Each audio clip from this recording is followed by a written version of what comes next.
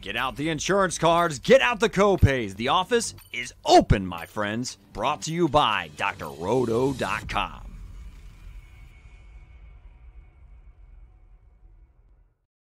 What is up, and welcome in. We are the Won and Done Show. We are your fast break of college basketball information, and we are back. If you haven't, if you if you weren't rocking with us earlier, we were here about an hour ago breaking down tomorrow's DFS slate. Make sure you check that out on replay.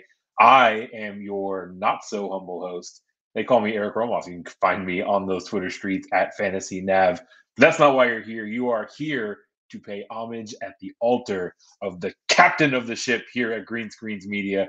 He is MC Holland 34 on Twitter. He is Mr. Mike Holland. Mike, welcome in. We're getting a little uh, little play in action under our belt, getting ready to talk about the big dance.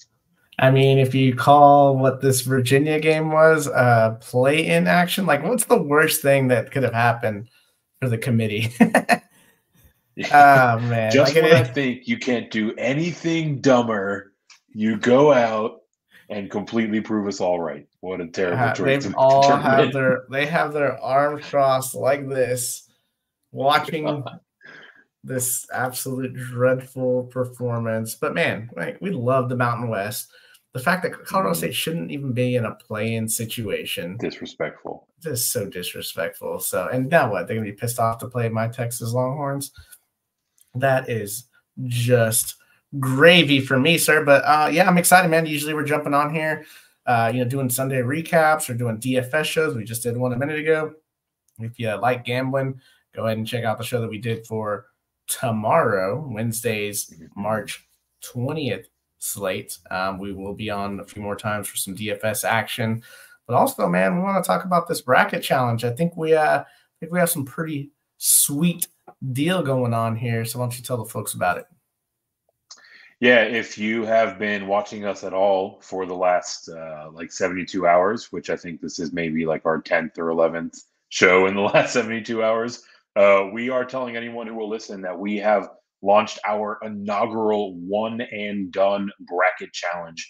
Pretty simple setup. It's an opportunity for you to build a bracket and compete with all of your broskies in basketball here from the one and done crew, but also our community of whip sharp whip quick breadheads, right? We, we've got some of the absolute uh, sharpest minds in the college basketball world that are going to be in this bracket challenge. You can see how you measure up with them. We play for a little bit of bragging rights, but also the winner of the one and done bracket challenge will take home an autographed Caleb Love jersey. To get involved, very, very simple. You either head over to the show page on Twitter at one and done CBB. We have all the information up there in our pinned tweet. Or if you are here on YouTube, check out the live chat. We have the link therein. All you have to do is fill out that link, make sure you're subscribed, and then you will be emailed an invite into the tournament, and then you're in. We'll be kicking that off here, uh, I guess, in about 72 hours, right? Until the uh, till the tournament kicks off. We're still letting people in through the end of the day tomorrow. And that tournament kicking off in 72 hours is exactly why we are here, right? We're talking about uh, the brackets that Mike and I are going to be submitting to this bracket challenge. So anyone that's trying to beat us will have the inside track. You can use a little little game theory optimal to uh, to at least knock Mike and I down a peg. But I, I do think that we have some interesting overlap in our brackets overall, kind of the way that we're thinking about it. And there's a couple areas that were different. So I want to talk through some of those areas where we're different, some of the upsets that we picked, and just kind of open up the kimono with everything that went into filling out our brackets. So Mike, you wanna you wanna jump in and show the people what you've put together? Yeah, uh, in 72 hours, your bracket will probably be burned down because in 48 hours, we're going to have uh, basically an entire round of 16 games played, my friend. I know we were supposed to do this show yesterday, and it feels like we've been doing this a Oh, lot. yeah. So our days and nights are completely mixed up here. But yeah, man, it's uh, it's right around the corner. Uh, tip in 36 hours. So let's get it going. But uh, yeah, if you want to pull up my beautiful bracket that I have set up here, my friend. Um, I mean, I've obviously uh, been uh, been been been kind of hard on uh, on a few number ones, uh, especially on uh, on this uh, on this Houston team here.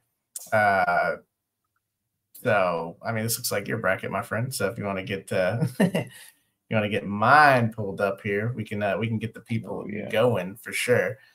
Uh, definitely, definitely like um, UConn uh, to kind of take care of business um, and, and, get there. I, I, like what North Carolina did in the transfer portal, uh, bringing in Ingram, bringing in Cormac Ryan to go with uh, with Bacot and Davis. So, uh, you know, I have them getting uh, all the way to the Final Four as well.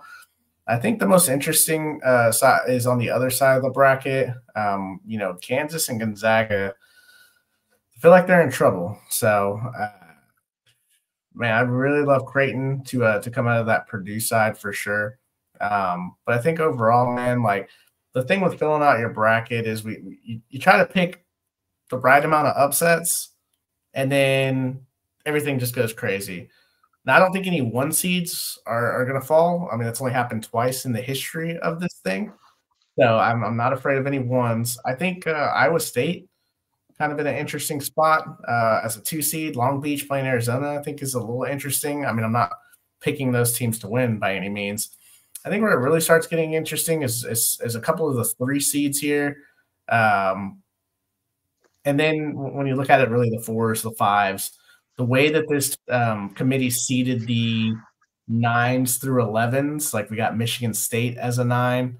Um, we have, you know, New Mexico as an 11. We just saw Colorado State, right? Like it's uh because of the bid stealers, it's created a, a lot of havoc where we usually don't see uh and and the and when you combine the fact that Mountain West was completely disrespected in their seeding, you're finding some really good Mountain West teams uh seeded nine through eleven. So I think that can kind of cause some havoc here, man. But overall, like I just think UConn has too much um, firepower. I mean, you watch them on offense; they're they're pretty incredible.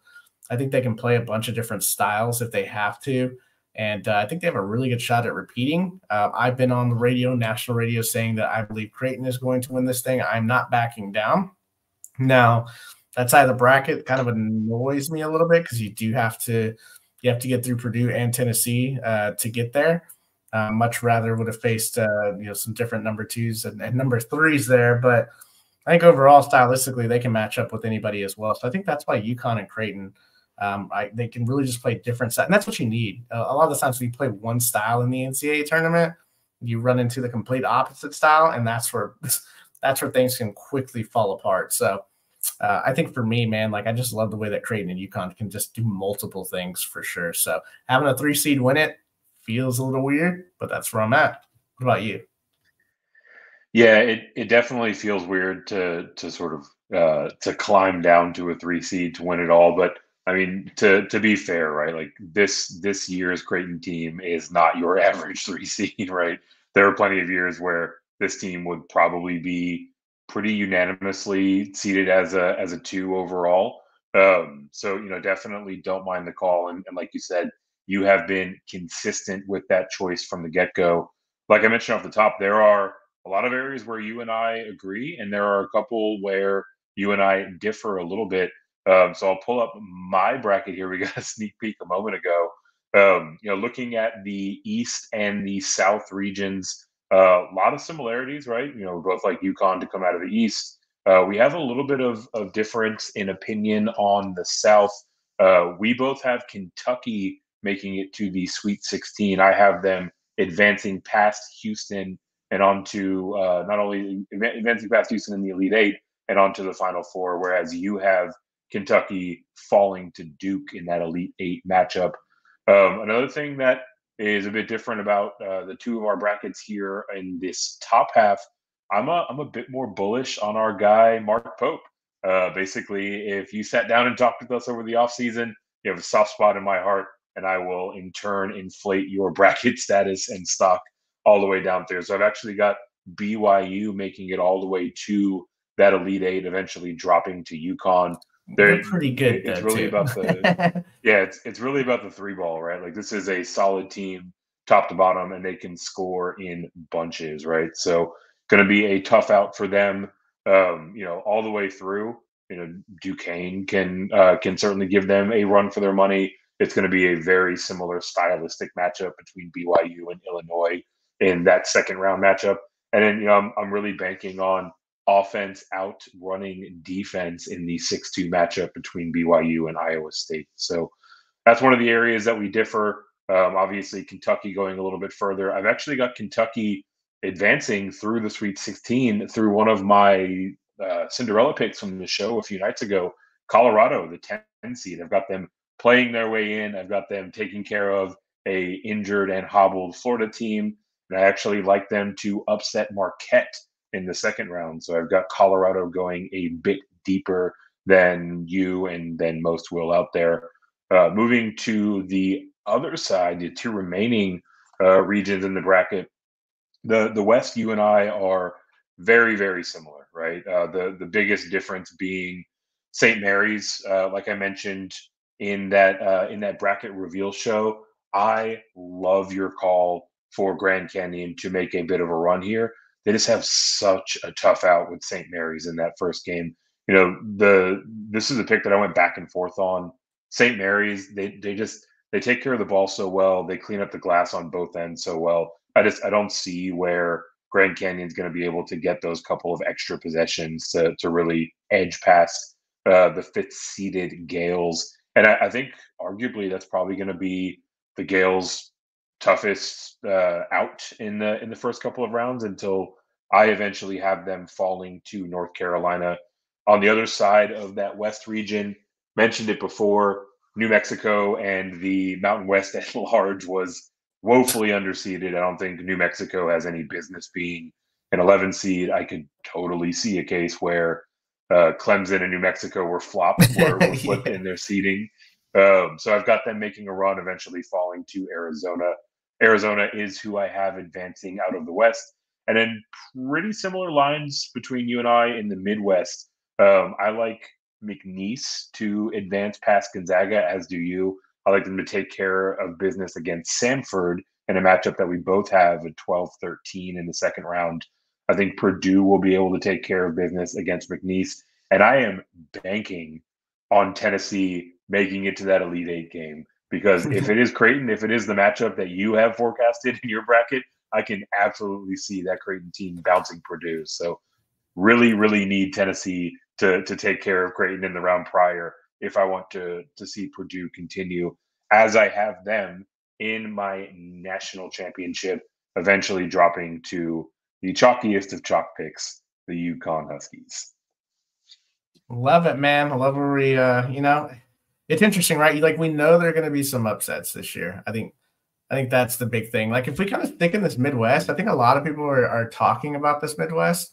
Um, me and you, I mean, you, you, mentioned it here. Like we, I mean, with the news with Kansas, Kevin McCullar being out, like that's a problem. First of all, I've been talking about Samford. We've been talking about Samford for a very long time. This is not. we were just waiting to see. You know, when when all these uh, shows came out, or when the brackets were revealed, we wanted to see who was going to get Samford. We wanted to see who was going to get Grand Canyon. We wanted to see who's going to get Oakland. Um, you know, those are the teams that uh, I, I, really uh, wanted to see those. Matt Drake too uh, is is obviously another one. So um, before we go to the Midwest, though, man, like let's let's slide over to the East. Um, hmm. For all intents and purposes, right? Like UConn got a pretty tough draw. Like when you look at this thing, man, like it's it's one. There's the narrative, right? Like it's like okay, three of the four, or five. Like you get FAU Northwestern, which we know Northwestern is the giant killer with uh with with Purdue.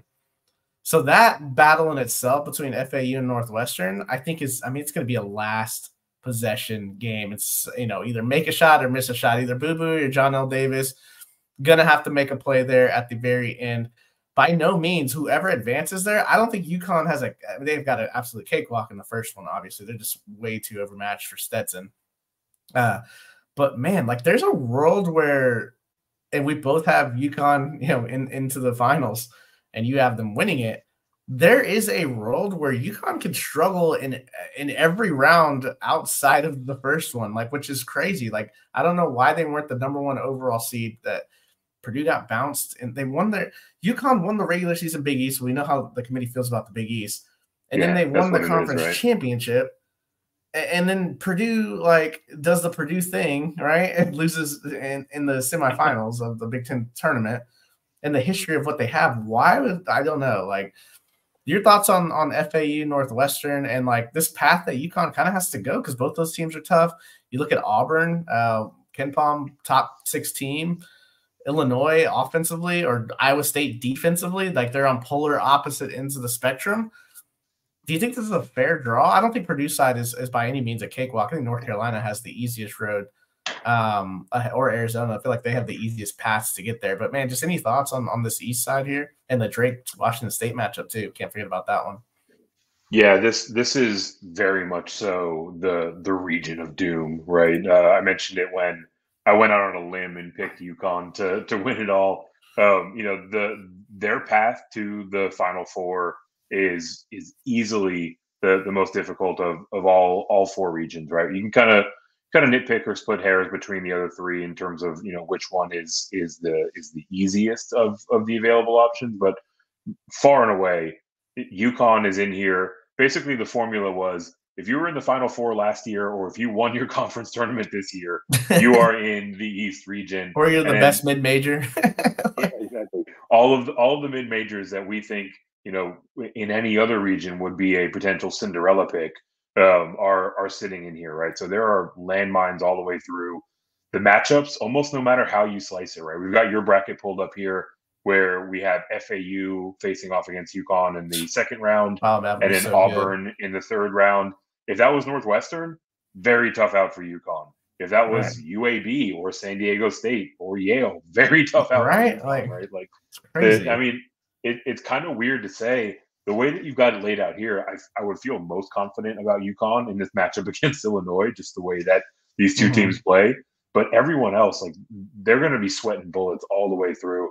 I think they have the horses to make it out right. Yeah, yeah, clearly, them, but clearly they're going to be. I mean, they're going to be favored significantly in a lot of these. I don't know about the Auburn game. I think that's the scariest one for me, man. Clicking that button was so hard. Clicking the UConn uh, yeah. because we know Bruce Pearl. They have Johni Broome, right? Like they got uh, Dylan Cardwell behind him, so they got ten fouls of quality big man, which you need with Donovan Clingan. And then you just have like a thousand guys that play. I mean, it's like Denver Jones, like uh, you know, Chad Baker Mazara. Like it's just wave after they don't get tired. They don't care about fouls. Like that's a spot, man. Like I feel like of all the teams that could pick off UConn, if we talk about like this is hard, yeah, but I mean, I think UConn could dispatch FAU Northwestern. Do I think that they could give them a game? Absolutely. Of the teams in this bracket, though, I feel like Auburn is the one that could really. Auburn's a, a potential Final Four team. They wouldn't be a top six KenPom rated team if they didn't have it going on on both ends of the floor. Um, Iowa State, Iowa State is probably between them and Arizona.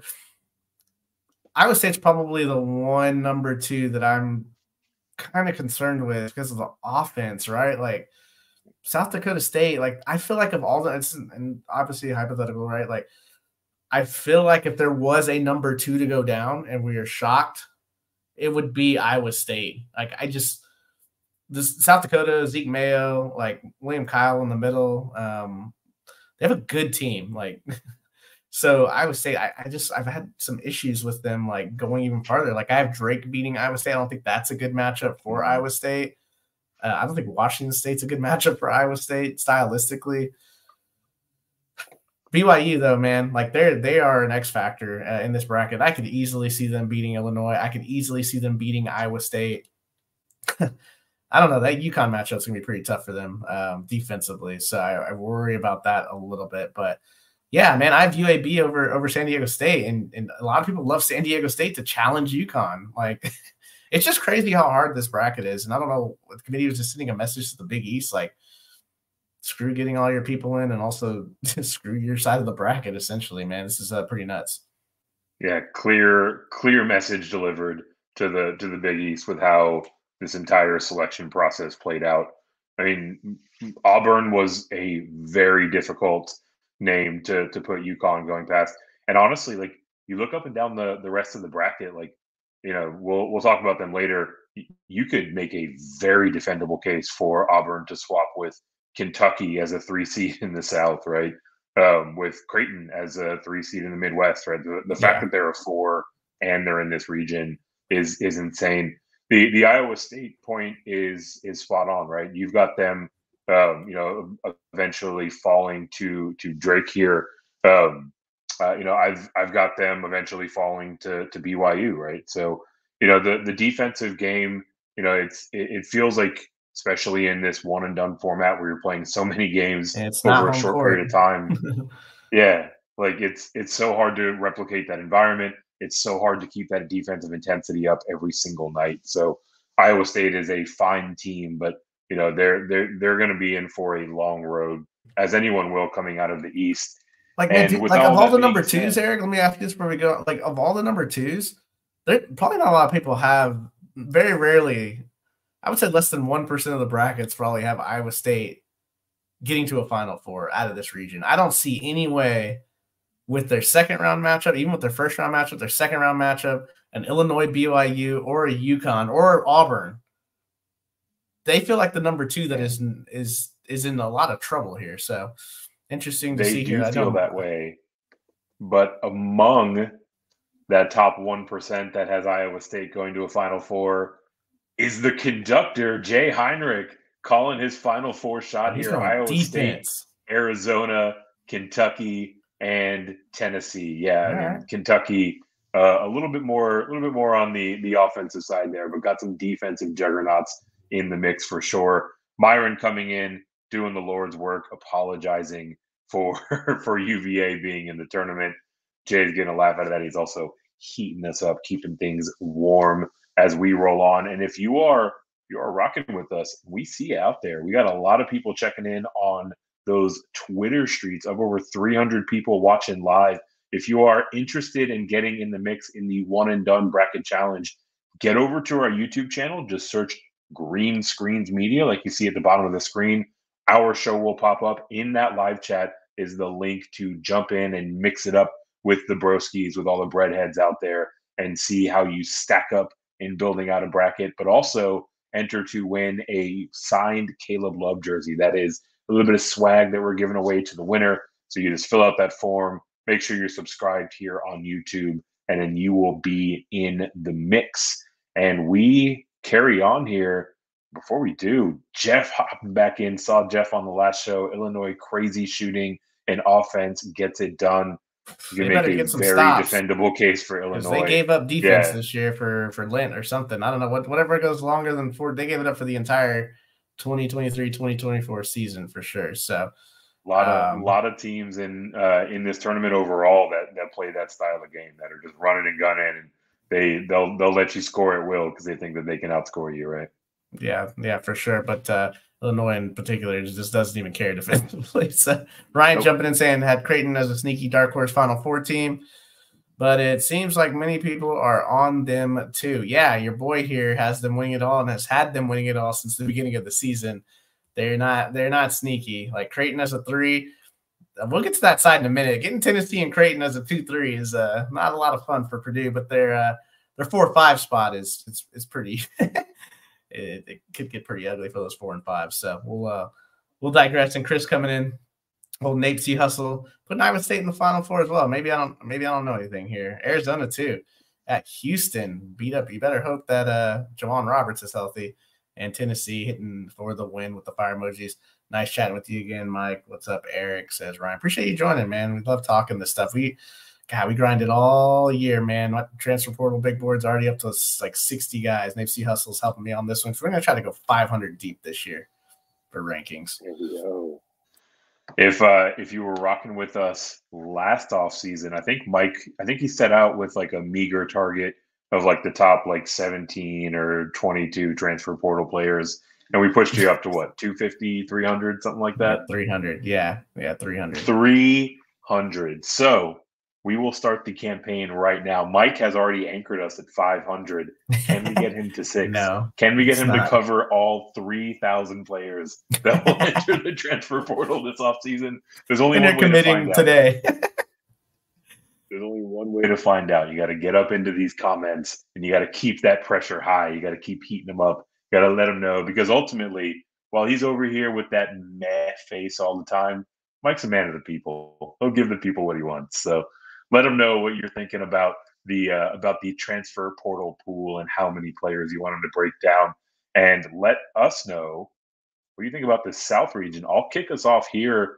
Um, you know, for me, this is this is a region that feels like there are a ton of different ways that it can go. Right, like um, you know, both you and I have um, have the three seed Kentucky making it pretty deep in the uh, in the run overall. Um, we also have uh, a, a, pretty interesting path that, that, that lays in front of them. We've got James Madison dispatching Wisconsin in the first round. That is actually proving to be a very popular 5-12 upset. I think. it is. James I hate Madison when these things be, get popular. Yeah, they're they're they're close to favorite. I, I think I saw them like plus 160. Like you're you're really you're you're you're eating a lot of juice with a uh, with a with a 12-5 upset with with how much how much these have steamed up. Um, you know, while Mike and I both picked that uh, that outcome. I mean, from like a game theory standpoint, let's say you're theoretically trying to win a I don't know signed Caleb Love jersey in a pool with the sharpest basketball minds out there. Might be actually an opportunity to pivot and go back to the Wisconsin side and try to clear out a lot of the field with that one pick because they are going to be popular uh, moving along that side of the bracket, we both have Duke facing off against Houston. Uh, Mike, you have Duke advancing. I have Houston making it to the Elite Eight. Uh, either uh, both of us, I should say, have them facing off against Kentucky. Um, you know how we get there is quite different. Mike, you've got uh, Tech taking care of business against NC State and Florida um, uh, getting past Colorado. I have the exact opposite. I like NC State to upset Texas Tech. Uh, I like Colorado to uh, make it past that hobbled Florida team and eventually uh, drop the game against Kentucky. So uh, a little bit of a different road. I, I, think that really speaks to just how wide open this this this region in particular is. Um, you know, moving further into the the rounds this matchup matchup, you know, we we like we like Houston to to get picked off in the Elite Eight. Um, Kentucky is doing the the needful for me. Uh, Mike, you have you have Duke doing that to to make it to their Final Four. So all this is to say, right? Like you know, several upsets that we're we're each picking individually. Um, I'm seeing a lot of people that are that are putting a little bit of love towards uh, towards Vermont over the Dukies.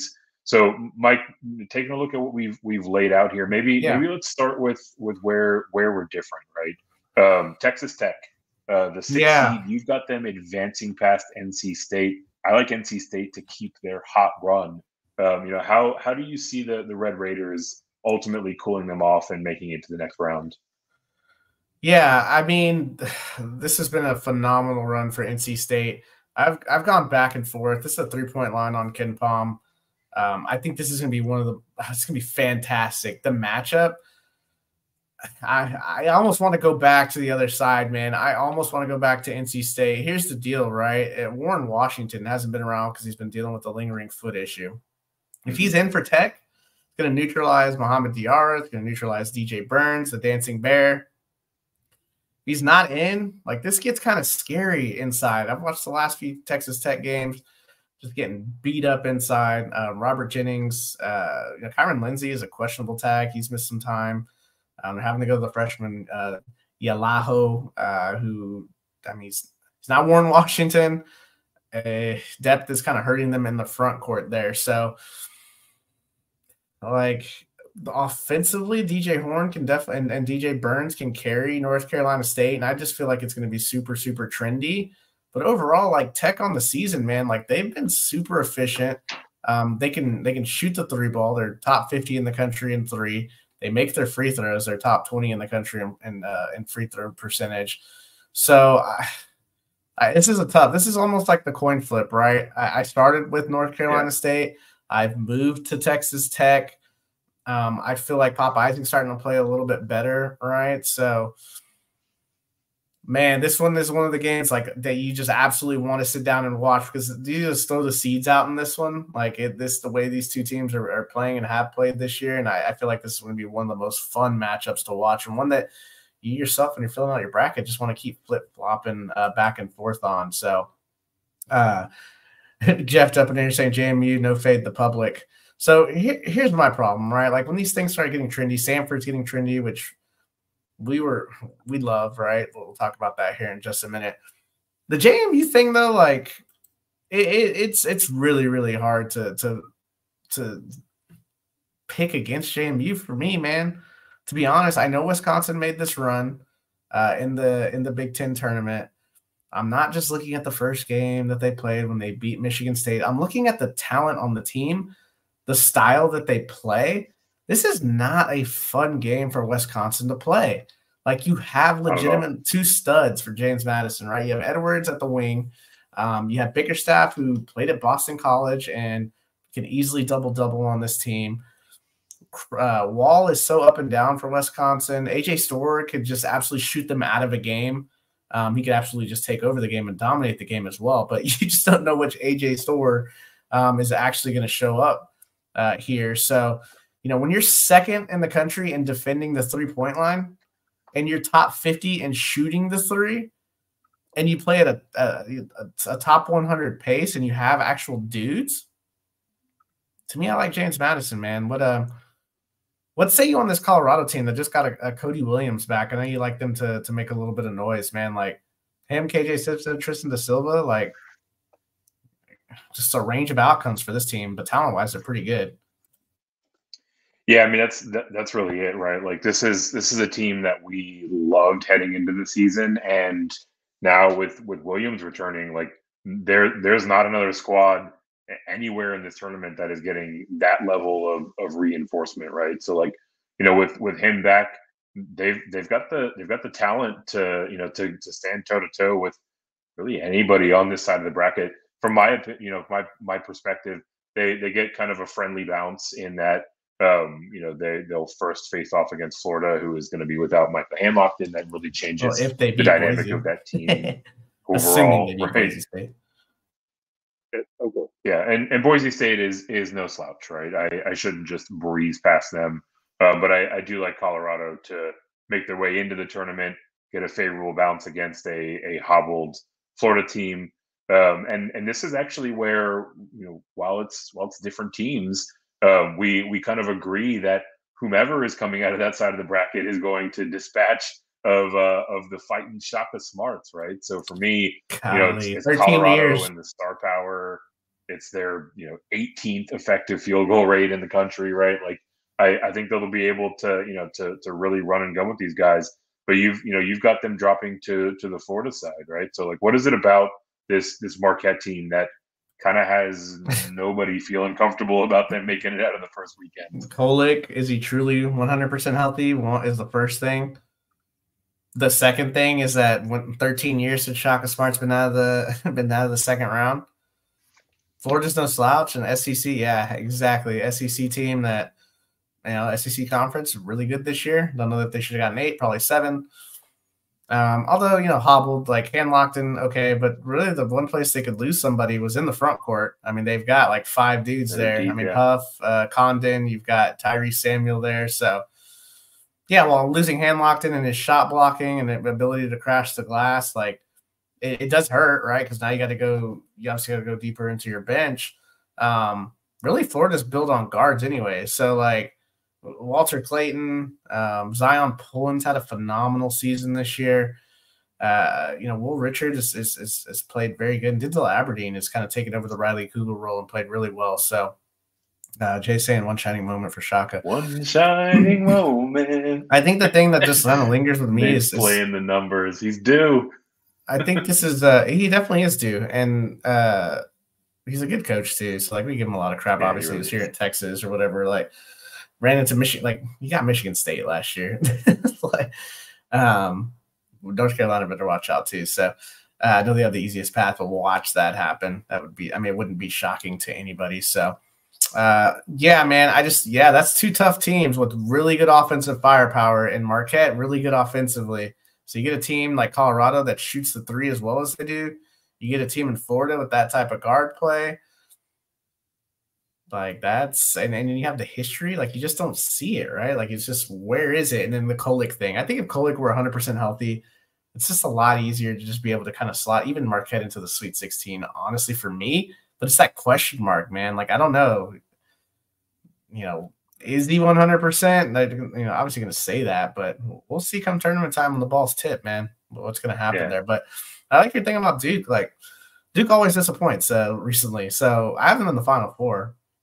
His talent alone, they're on a four seed. We saw Oral Roberts get in the tournament last year, and they got matched up with Duke. It's like, oh crap! Like Vanover and Abmas are just gonna be put in the locker, and Duke won by like you know twenty. So I mean, pound for pound, like Filipowski, Mark Mitchell, like all these guys are five stars. Tyrese Proctor, like they got, you know, guys off the bench that are five stars. Um, they're not a four seed as far as like roster talent. They're a four seed as in they, you know, screw up here and there. So obviously in a one and done yeah. setting, that's not great. But in a one and done setting too, that's a team that can easily make a final four. So somebody that Houston's gonna have to deal with for me.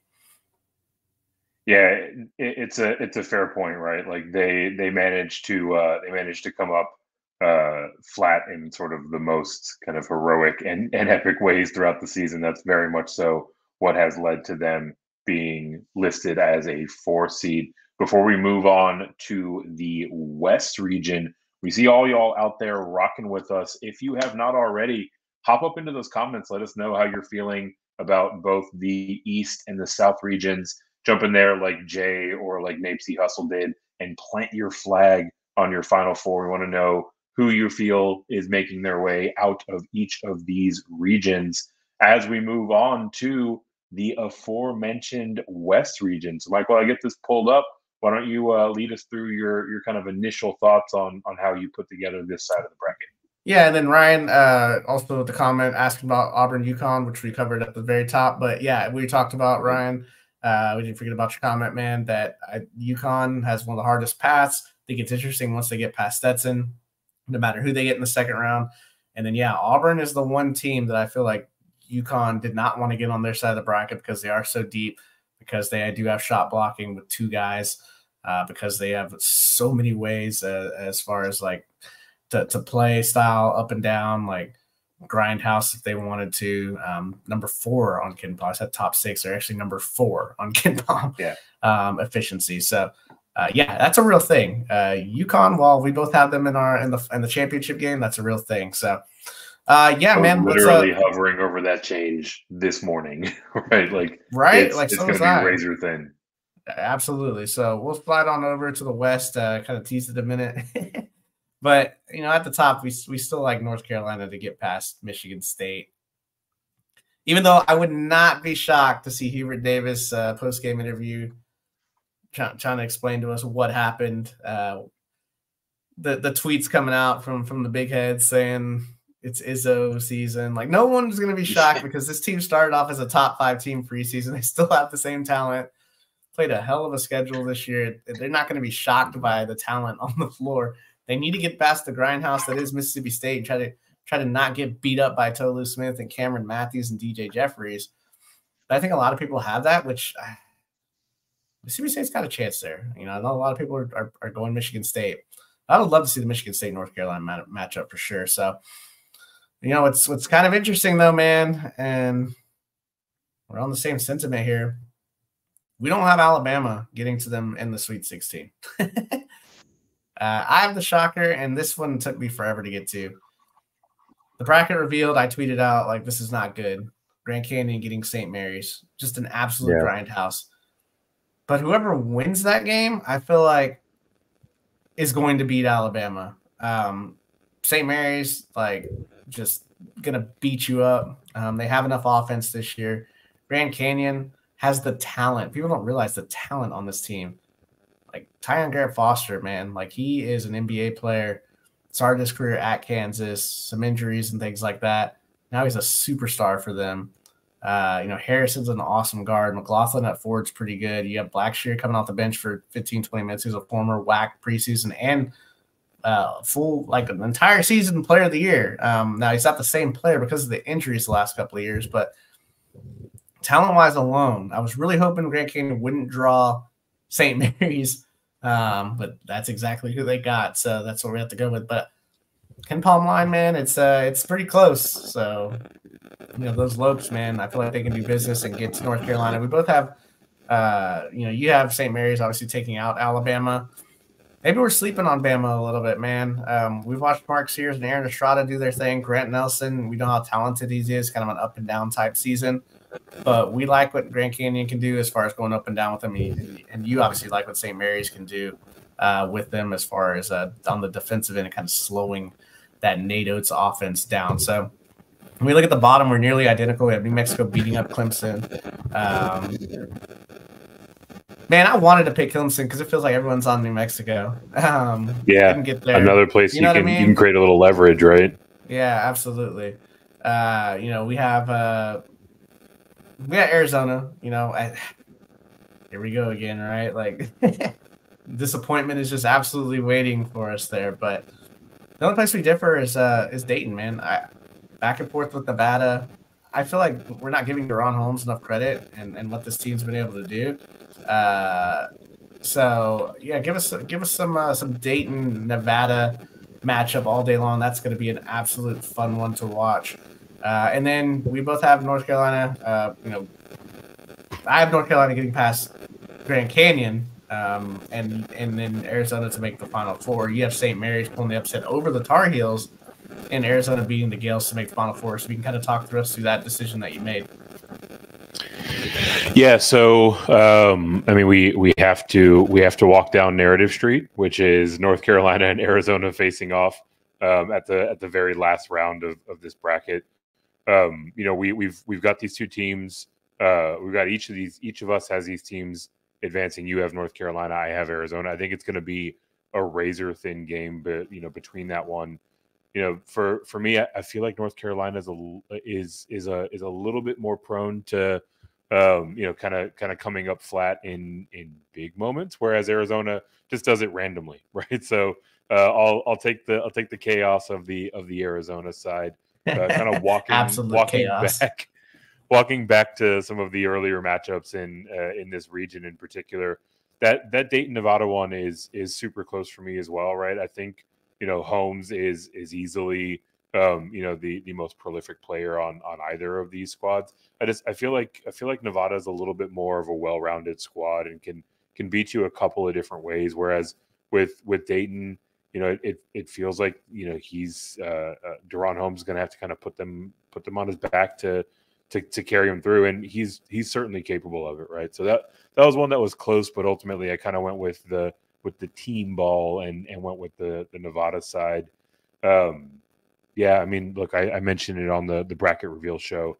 I was I was pissed that Grand Canyon got this draw in the in the first round. Like almost almost any other five seed, and I would feel I would feel great about selecting them to advance. Just St. Mary's is is so effective on the defensive side. They're so good on the glass. Like I just I don't know where these extra possessions are going to come from for for Grand Canyon to take advantage of their their three ball and their ability to score. So I you know I've I've got them narrowly following, but yeah, point point being, right? Like you know, both of us, both of us. God, that's gonna be a about, hell of a game, man. I know. I mean, it's it's going to be one of the games of, of this entire region, and in you know, uh, uh, from top to bottom, and it just so happens to take place in. I the, love this region, round. top to bottom. Like, look at it: North Carolina, Mississippi State, Michigan State, St. Mary's, Grand Canyon, Alabama, even Charleston, Clemson, New Mexico, Baylor, Colgate, and their three point shooting, Dayton and Nevada should come down to a last possession game. Like even Long Beach, man, has beaten some P5 teams this year. Yeah. Uh, man, what do you think? What do you think about this Clemson New Mexico deal, man? Like this is this is a everyone's picking New Mexico, man. Like everyone's doing it. Like everyone's picking James Madison. Everybody's picking Samford. A lot of people are picking Nevada over Dayton. Like it feels like these we just fall in love sometimes. Uh, that's why I'm having a hard time picking Tech. You know, uh, North Carolina State over Tech. Big 12 was very strong and Tech, you know, finished way up there, whereas North Carolina State had to do the Cinderella run to, to get in. But any thoughts stylistically, matchup wise? I mean, this Clemson, New Mexico, it's got a lot of stars in that game. So, any thoughts on that one? Yeah, I, I, think it's I think it's just the the star power for for this New Mexico squad, and, and this is this is a team that's really like it's it's overhauled itself, right? Like you talk about House and Mashburn, you know these these are guys that can compete in the you know in the in the Power Six conferences and and would be um, you know would be stars in in those ranks. You know, New New Mexico for forever was just kind of like they're they were one of these like kind of bigger, stronger type of teams that could just sort of like muscle their way through the the Mountain West.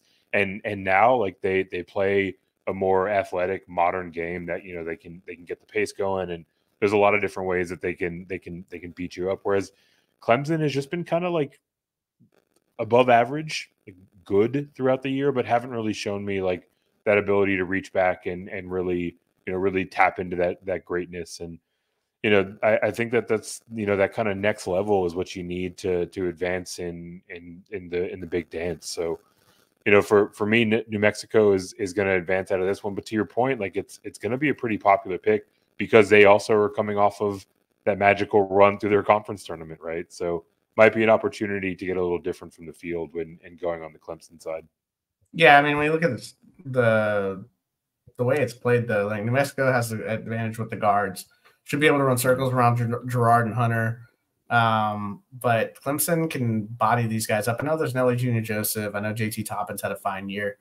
But Schieffelin and Hall are some big boys, some big bodies, yeah. and they will beat you up. So it's a classic tale of like, can New Mexico withstand the blows inside uh, that Schieffelin and Hall are going to give them? And can Girard and Hunter, can they hold up uh, with, I mean, you talked about House and Mashburn, but Donovan Dent has kind of been the story for New Mexico this year.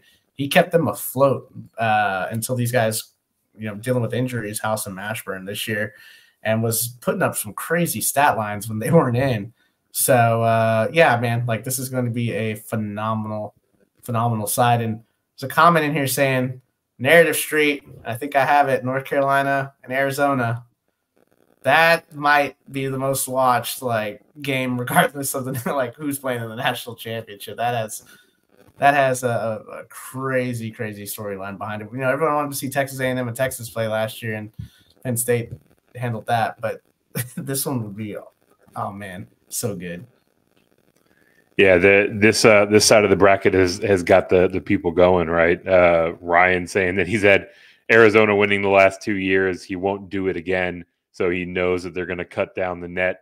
And Jay trying to lure him over to the dark side. Come back, pick Zona one more time. This is going to be a fun one. Third time is the charm. So definitely a lot of fun matchups to watch here in the West. Before we move on to the final region that will break down the Midwest, if you are checking with us on YouTube, scroll up a little bit in those comments. You'll find the link to our Won and Done bracket challenge that is your opportunity to play with the Broskis in basketball, to play with all the breadheads out there. And if you win, you'll take home an inked Caleb Love jersey since we're talking about Arizona. According to many, at least Jay and whoever else he can recruit, a soon to be national champion, Caleb Love. So that would be a pretty nice addition to any collection. All you have to do is hit the form, make sure you're subscribed here on YouTube. If you're not watching on YouTube, get over here, search search Green Screens Media, or you can go to the show page on Twitter at Won and Done CBB. Have all the information pinned up in there. So want to see this thing grow, we're going to be north of 50. Might even push well beyond that with another 36 hours or so to fill that joint up. Want to see every one of you in there and mixing it up with us as we move on to the Midwest region. This is one that I I like Purdue's path a lot mainly because of the side of the bracket they're on. So, Mike, what's your thought on how this one lays out for the one seed and some of the other teams that you have advancing through from this side? Yeah, so I got a comment. Uh, Zach Edey will take your sushi. Appreciate you joining us, man. Saying Purdue won't have a game within the uh, within 25 points. That may be true in the first couple of rounds, but you got the uh, the best two seed and the best three seed. uh, now the four and five seed, both of us have them going down. So, Samford and Kansas. This this line is moving because Kevin McCullar is out. Mm. One, and I think Jeff Borzello tweeted this out, and I retweeted it uh, or quote tweeted it, saying this guy gets it. I don't even care if Kevin McCullar was playing in this game. Like the way that kind of Kansas season has gone, the fact that you get a team in Samford that we have been just absolutely loving the uh, the entire season here you know my recipe for for upsets, man. Like it's always it's always the same thing every single year.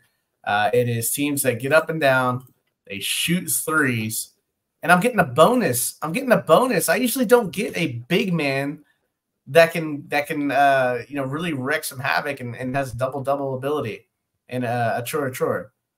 So you're giving me what I want and a little bonus on the side with that. They're seventh in the country in effective field goal percentage. They're eighth in the country in three point shooting. They're 20th in the country in two point shooting. Like they're top 50 in assist rate.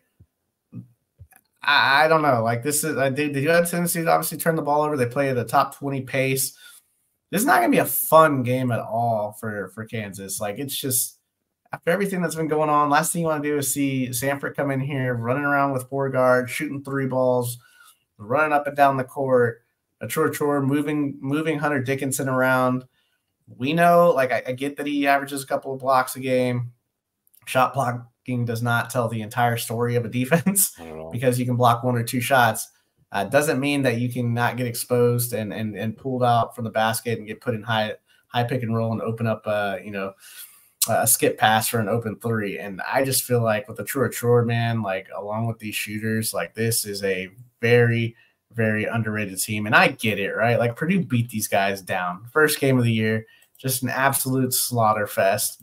Um, I actually had them uh, advancing to get to Purdue and then getting beat again because uh, I just feel like Purdue has enough shooting with Braden Smith and with Lance Jones, uh, three and D guy, and then yeah, obviously have the, the problem in the middle with Edey.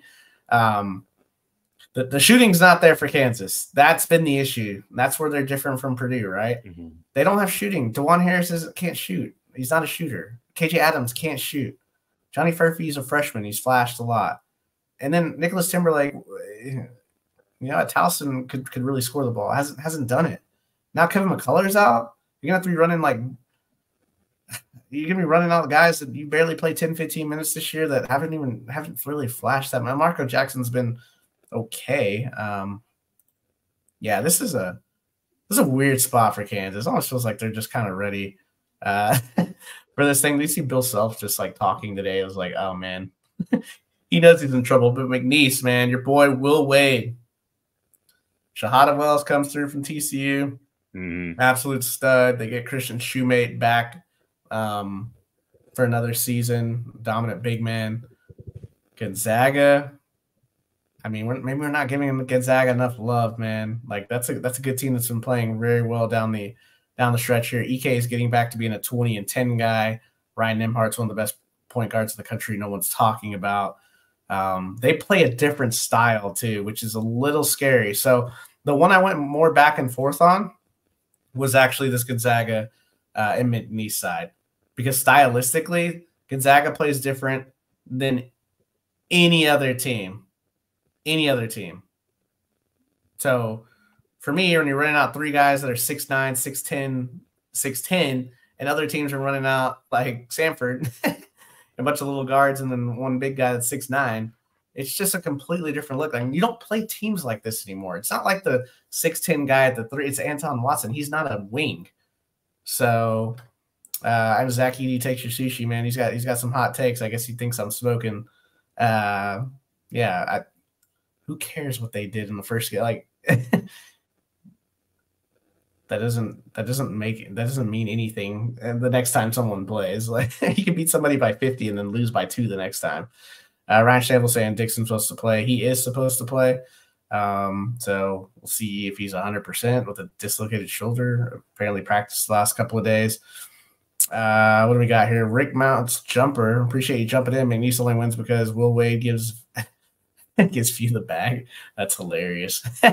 hey, that's an awesome comment. Myron say, "Call me crazy." Did a sprinkle of McNeese making the final four at eighty to one. Yeah, I mean, why not? I mean, they're a good, great team. It's Will Wade. All he does is win 70% of the time because, like Mike said, they're lack of scoring. If Dickinson's out, who's going to score? Dickinson's going to have to score 50, like 40 they just don't have any shooting. That's been the problem since the first game. They don't have any shooting. Like there's no Grady Dick. So yeah, I mean they were they were hoping to to get some of that, or at least a, a poor man's version of it with Johnny Furphy, but you just you can't rely on that with with a with a freshman in the in the NCAA tournament, right? So like this was going to be a tough spot for Kansas either way, and and now with you know being being down McCullar I, I think that Samford is going to be a very popular pick.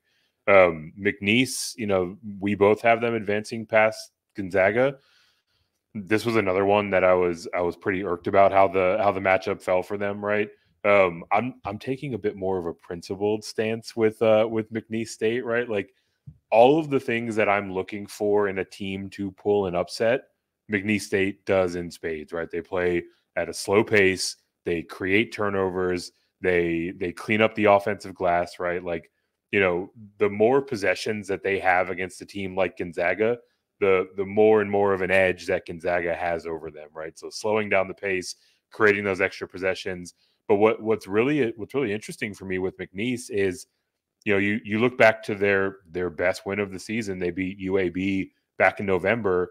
They actually they kind of changed their stripes a little bit. McNeese is not a a prolific three point shooting team in terms of their frequency at which they they shoot the three ball. But in that game against a higher caliber team, they went out and shot 19 three pointers and they made 10 of them, right? So, like in these moments, it, it seems like Will Wade, who is, you know, he learned at the knee of Shaka Smart at VCU, you know, he he knows that you have to increase, you know, these kind of higher risk, higher variance type of plays in these moments where you're an underdog. So I think that this team is poised to, you know, to rise to the moment against Gonzaga. And then, you know, because of how the the bracket falls, you know, I, I think they're certainly competitive in a 12 13 matchup against Samford. So that one in particular should be pretty close. Um, I mean, both of us have have Purdue advancing um, in the in the third round and eventually making the uh, the elite eight out of out of this uh, out of this region. I have them actually advancing to the national title. You have them dropping to Creighton, which is one of the areas that were different in this bracket overall, right?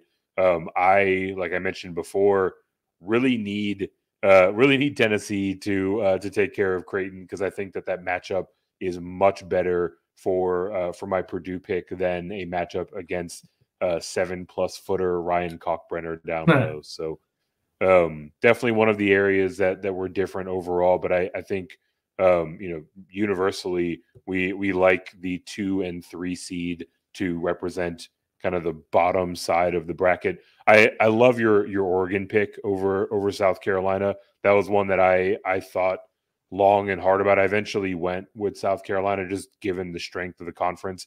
That's one that I I, I could totally see going going either way and, and don't mind your call there. Isn't maybe, that, isn't maybe that walk weird us though? through. Yeah, isn't yeah, it how- how weird you though that like the 11 seeds are just teams that ran through their like, so you got NC State in 11 playing a Texas Tech team that played good all year. You had Oregon run through the Pac-12. South Carolina played great all year. Couldn't stop singing their praises. New Mexico was by the committee standards out of the tournament. Ran through and was a bid. They were the fifth bid sealer. Like now they're you know obviously matched up with Clemson, who you know maybe not as like South Carolina, uh, you know, not as consistent. But it seems like we're just gonna the 11 seed. All right, they're playing hot. Let's just let's move them forward. I mean, yeah. So I, I I'm, nervous that you know recency bias over over a season long. Um, but there's there's something to that, right? Like you hear it all the time with coaches, like playing the hottest basketball at the right time is is definitely a thing. So yeah, I, I do like Oregon, uh, especially in the N'Faly Dante. I think he can kind of neutralize Collin Murray-Boyles down low, who's been a, a fantastic freshman. Like, golly, did obviously the, he's the X factor and the reason why Lamont Paris uh, was, just so successful this year, along with Meechie Johnson and BJ Mack coming over from Wofford. But yeah, these 6 11 games, like th- these aren't really upsets to me. Like, these are, you know, some of these teams are favored. Super It's- Yeah, it's just super tight. The seven tens are just evenly matched too because the Mountain West was seeded so poorly. Um, these Mountain West teams that are 11s are, are are real. I mean, Mountain West, we, we've been singing it all all night long. So, yeah, I think for me, man, like we get to Purdue, you go to you go with Tennessee, obviously Dalton Knecht, right? And then they have a bunch of veterans. They play great defense. Me, it's Creighton. Uh, they have the big man that can not maybe stop Edey, but I mean, he, he's a big dude, Kalkbrenner. Um, Big East play, uh, Defensive Player of the Year a few years in a row now. I mean, Baylor Scheierman, it's it's time, man. It's time. And Trey Alexander is so streaky. Steven Ashworth's kind of that key to that team, though, man. If he's if he's shooting threes and oh man, like they just they can beat you inside, they can beat you outside. You worry about them a little bit defensively if you if you get a center that can is a little more mobile, which is why I like the matchup against Edey because Kalkbrenner's not going to be asked to like get out and high ball screens um, and, and play some drop coverage. He's going to be asked to guard Zach Edey, and they have you know they have King that can come in and, and spell some. He's a big boy too. He's been around the program for a few years now as well. He can bang around. So, yeah, man, like I, I get it, but it's Purdue, right? It feels like at some point like they're going to break through and and really come through. Um, but until we see it, they've lost to a 14, a 15, and a 16 last three years. So it's kind of tough to the you know like it's a bad two three draw for them I guess of all the teams like they could have drawn Iowa State they could have drawn Arizona and like you much rather feel comfortable yeah. about that as well so that's that that's kind of the thing right I, I, think they they arguably have the the toughest two three draw out of any of the regions but their their path to getting to that game feels much clearer to me than arguably any of the other one seeds right so um you know they they can definitely build up some momentum and and look I've I've been out there banging on Purdue for their recent tournament performances, probably more than anybody. But I mean, this this year's team is is different, right? You've got Braden Smith taking the leap. Um, we we love what what Jones gives to them. Um, you know, however you slice it, you against Creighton, me against Tennessee. I think they're going to have a real tough matchup in that Elite Eight. I've got them advancing on. You've got them falling to Creighton, which takes us to our final fours. Mike, do you want to uh, you want to you want to jump in a little bit and talk through how we've got the final fours shaking out in each of our respective brackets? Yeah. So uh, for you, uh, you get to UConn, Arizona. That that would be a fun matchup. Two teams that can shoot the lights out of it, high quality right. offenses. You know, so you got the one of the two. I go to the double one here. Uh, I got UNC getting there this. I feel like UNC has the easiest path of all the number ones, and I just feel like redemption arc is there. Uh, but it's obviously a battle of two teams that have played for it all in the last two seasons. So what a storyline that would be. One's trying to go back to back, the other one's trying to complete that redemption arc. And then you also have Kentucky playing Purdue. So you got the three against the one there. And that would be a awesome battle of guard play. Like just just filled with awesome guards that can shoot, that can pass, that can do some things defensively. And then you got the old school big man, uh, Zach Edey, in there trying to trying to do some things. So I think that would be interesting. Uh, but Kentucky has a bunch of former five star high school guys. Uh, Aaron Bradshaw, you've got uh, Onyenso, you've got uh, a Visage from overseas. They got a bunch of seven footers they can throw at them.